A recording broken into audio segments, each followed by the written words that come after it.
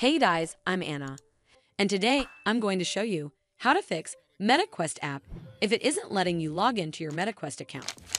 It might be possible that you're not able to log into the MetaQuest app due to a connectivity issue.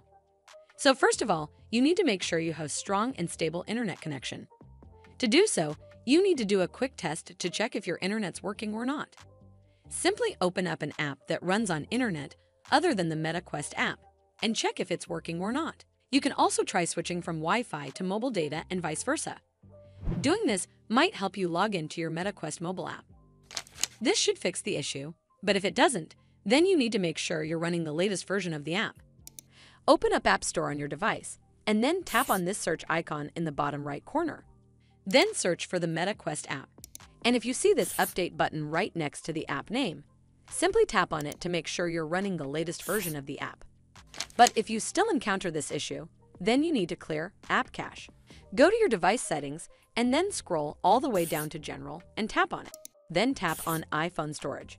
From here, search for the MetaQuest app and then tap on it. Once you're on this screen, you need to tap on Offload app.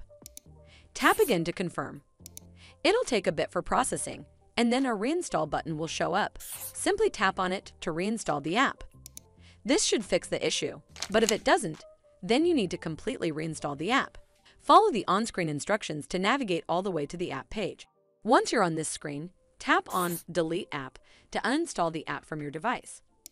Once uninstalled, you need to open up App Store and then search for the MetaQuest app right over here in the search bar, and then click on this Get button to install it back on your device. Well, that's how you fix MetaQuest app if it isn't letting you log into your MetaQuest account. I hope you found this video helpful.